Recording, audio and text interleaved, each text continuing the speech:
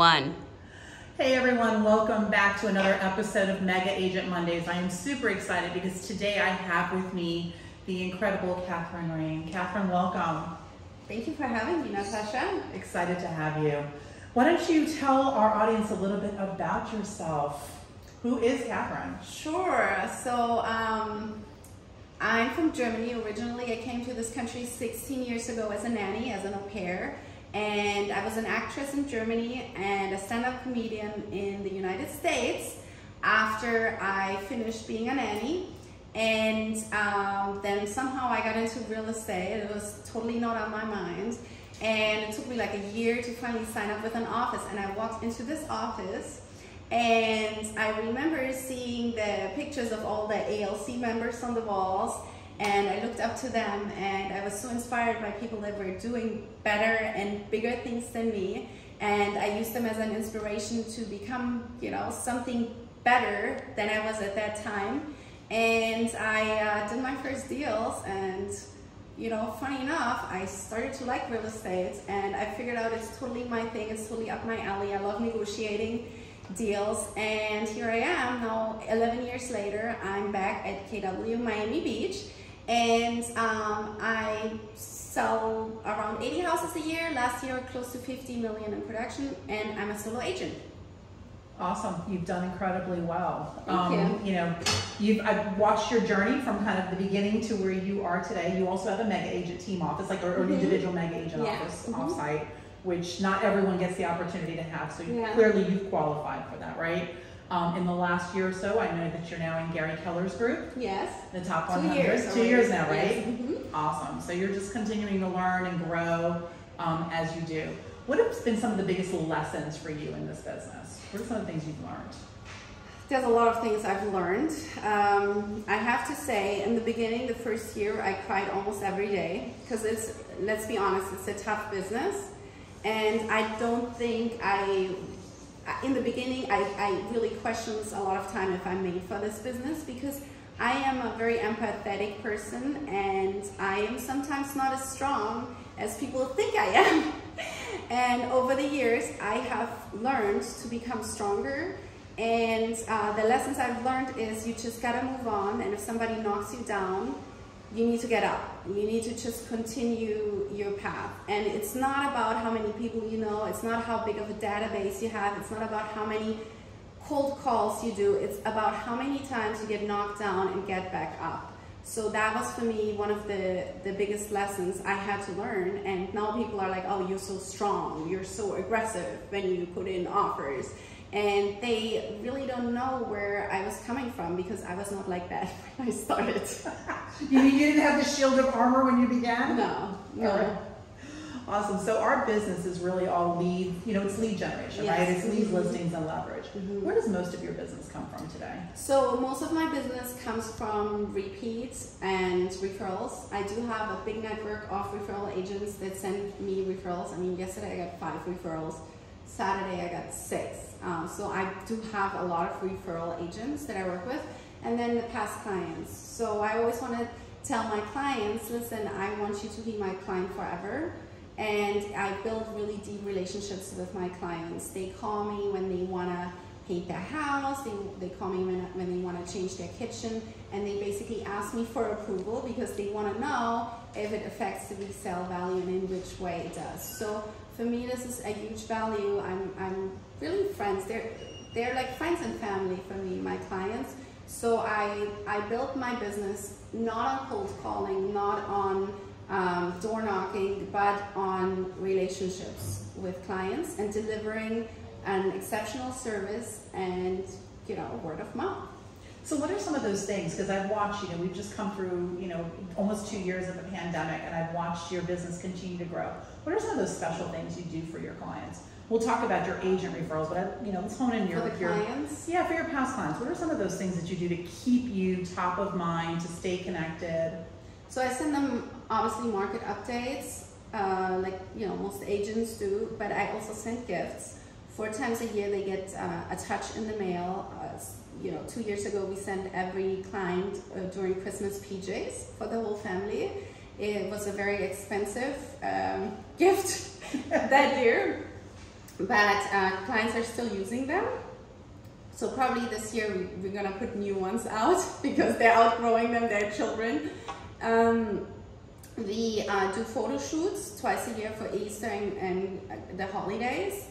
Uh, we just touch base with them and we call them. I, I never call a client asking, who do you know that wants to buy or sell or invest in real estate? I think that's, that's for me the tackiest thing to say. I mean, it might work for other people, but I just check in and say, how are you? What can I do for you? How can I help you during those difficult times? And I just come from contribution. I, I believe that if you give value to people, they will value you in return. Absolutely, and that's obviously worked for mm-hmm. for you, right? Yes. You continue to help. You do something similar with realtors because your um, the attraction that you have from the realtor community is also mm-hmm. large, and it's probably the, largest of most of the agents that I've seen.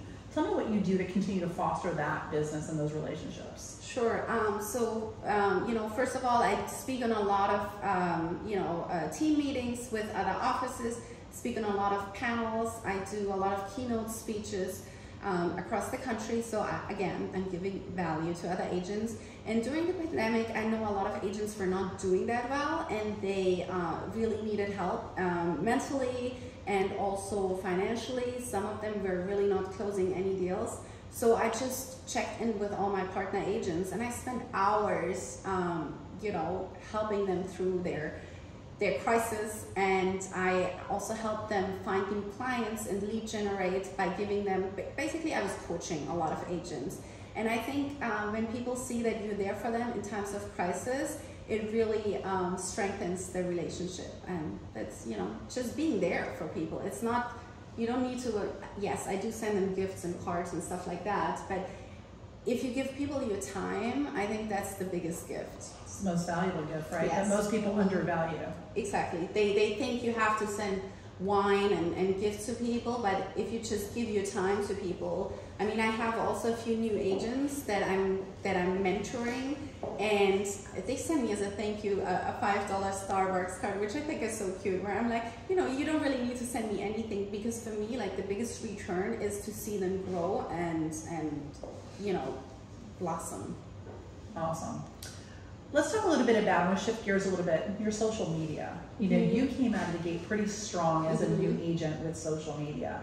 And part of your generation clearly, and I still watch you today. Talk to us a little bit about that because you are pretty strong with your social media presence. Yeah, you know what? I could be better. There's people that are much better in social media, and I, you know, I'm always trying to grow and get better. I do have, I, I have to say, I, I do have a social media manager. She puts all this like just listed, just sold, just, you know, all this stuff. Because for me, there's, there's not really value to my clients. like I want to show them, okay, hey, the interest rates are going up in a month. So if you're thinking of buying by now, because in a month, you're gonna, you know, your ability to buy the $400,000 house is gonna go down to 375. So um, I, I like to bring value. So I try to post things that are of value to the clients. And yes, sometimes I post a lot, sometimes I post less. I try to do a lot of videos, again, you know, giving value to the clients and giving back. And I do get a lot of business from social media, yes. Yeah, I, have known that about you. The other thing that I've really watched and admired is what you've done personally. So mm-hmm. a lot of realtors get in the business and they think, you know, they hear the word wealth building and they think selling real estate is that. Exactly. And at the end of the day, we know the wealth building mm-hmm. comes from our own investing in, in exactly. real estate, right? Talk to us about that because you've done incredible stuff with your with your you know portfolio and kind of what you're doing with your rental properties. Thank you. Um, so I own 14 properties and I am financially free since last year. So what I've done is, yes, I do sell a lot of homes and I do have great income, um, but I also always live below my means. Uh, I have clients that I know make way less money than me and they buy a bigger house than me and I always kind of, you know, lived really below what I was able to afford. And I mean, until three years ago, I lived in a small two bedroom house with my two children and I just upgraded three years ago when I could have done that much earlier. But at that time, I decided to spend the money on investment properties. So when other people went on vacation and went to Starbucks every day and went shopping and, and bought the things, or an ex- a really expensive car, I kind of, you know, uh, use the money in a different way. It's not that I didn't spend the money, I just didn't spend it on things, I spend it on financial freedom. So I invested every dollar back into real estate because after all, we sit at the source.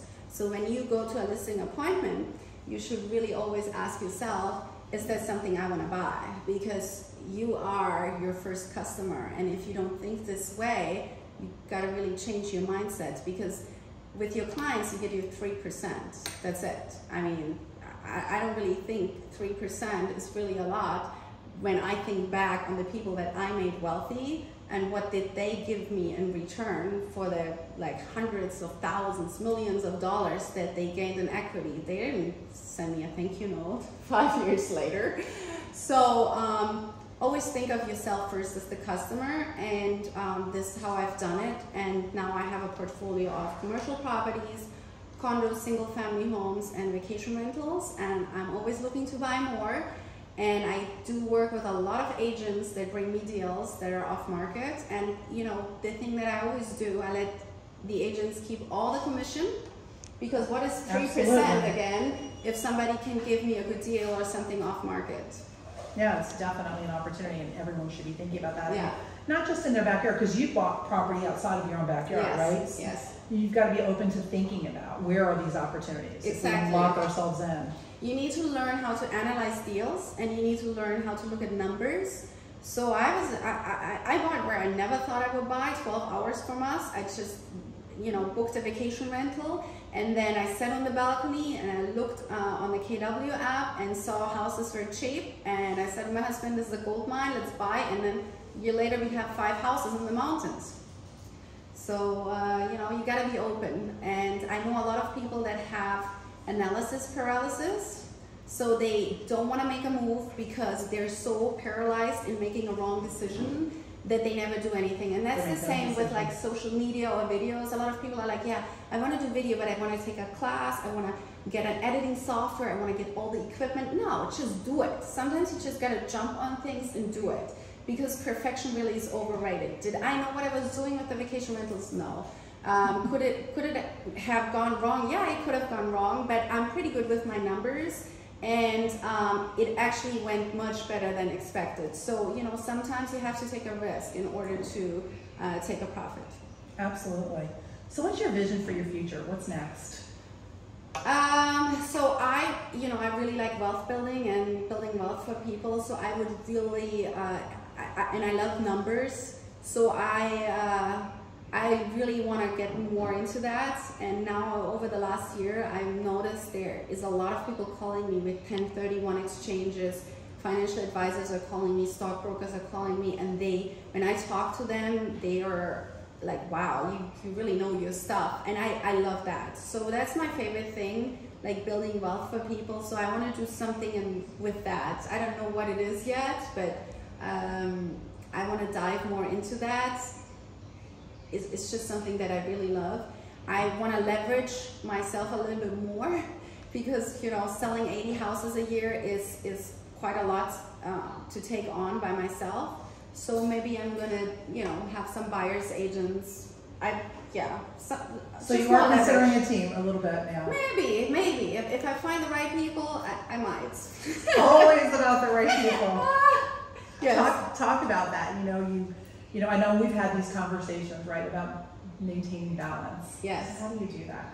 Well, because you're busy, Kathrin. Not yes, only do you sell homes, but you're a mom. I don't know that everybody knows that yes. about you your whole life, right? Yeah, I have two children. They're seven and thirteen. I had them young. Uh, it was a mess, and it was crazy, and it was messy, and uh, you know, it, it was just chaos. But I'm glad I, you know, I'm kind of you know, now all my friends have little kids, and I'm like, ah, let's hang out when your kids are bigger, kind of thing.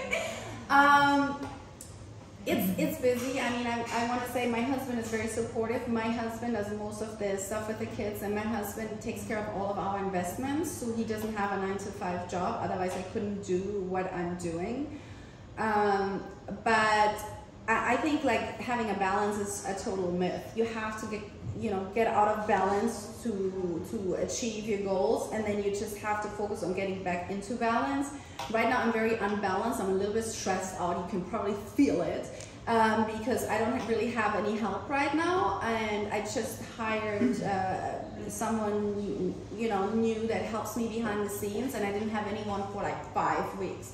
So it was like close to a nervous breakdown We won't let that happen. but you know, I was a little bit out of balance. Now I'm trying to get back into balance, and it's just you know that's how it is in our business. Some months we're busier, some months we're we're um, you know it's slower, and it's all about like okay, I get out of balance. Go to the massage studio, like you know, do some self care. Go to the chiropractor, get your hair get your hair done. I haven't done that in months, but uh, you know, you have to set priorities. My husband is like, oh my god, the house looks like a mess. I'm like, that's not my priority right now, you know. So yeah, I mean, balance. You just have to wing it sometimes. I think Gary says it best, like balance is bonk. Like there is no real balance, Yeah, right? It's about counterbalancing. And Exactly. so, you know, taking a little bit longer of a vacation so you can drive a little harder on the work side. Exactly. Yeah. I took a three week vacation over Christmas, but it was long. I'm like, I was sitting there last week. I'm like, I'm gonna get back. I know you were antsy to get back to I work. know it was a lot. What's your crystal ball for the future? In real estate, Yeah. I think that um, on the long term, um, we're gonna see less buyers agents. That's just my guess because the buyers nowadays are so savvy and have the internet at their fingertips. So I think that it's uh, it might shift to that the uh, actually the buyers have to pay their own buyers agents if they choose to use one. Um, that that's just my guess. And as far as real estate in general, I just think it's going to plateau over the next year a little bit, and it's not going to be such a crazy market anymore because the interest rates are going up. Um, but for for KW, I have like really great. Um, I have really great uh, expectations and great predictions. I think that we're going to be doing really well. Um, we have a lot of exciting things coming: the sports and entertainment industry, a relocation division, and then we have a few other things coming that I've heard in the back. So um, I think that people in general will always need a realtor, despite all those like Opendoor and what what all. I know we're not supposed to say names, despite all those online buying companies, because um, you know, yes, uh, sometimes our industry has a bad name because of all the 99% of people that are not doing their job. So let's be the 1% that sticks out of the crowd because I know people hire me because they know I'm not like the other 99%. And we have an opportunity being with KW to be the 1% that is just amazing, gives amazing service, and that people want to work with us and value our service. That's awesome. What would be the one piece of advice you would want to leave our audience with? Last parting thought. Okay, so for me, um, over the last two years, what I've really learned is to qualify the people. It saved me uh, a lot of time. Uh, you need to make sure that people are willing and able and uh, quick to buy or sell and motivated. And um, I do now all my homework up front. I have a very thorough buyer and sellers consultation. My buyers look at three houses and pick one. I don't show 20 homes anymore. My sellers know if the property doesn't sell in three weeks, you're gonna have a price reduction. Setting expectations has been a huge game changer for me. Um, not just as far as, um, you know, we're not gonna ask for anything after inspection. Um, but also putting people on agreements. Like I don't work with anyone without a buyer's agreement. I don't have time. So if Mark doesn't want to sign, if he doesn't want to sign a buyer's agreement, then Mark has to find a different agent because I'd rather filter him out in the beginning than have trouble later. Because if he's not willing to sign that bias agreement in the beginning, he's gonna cheat on me later and then I'm gonna cry. So I don't wanna cry and I wanna work with people that I love and that appreciate me and that I like to give value and um, you know my advice is set expectations and filter people out. It will make your life so much easier. That is great advice. I mm-hmm. appreciate you. Kathrin, thanks so much for being here You're today with us. This was awesome, and I know our audience learned a lot. Good, awesome. All right, until next Monday, see you all. Have a great week.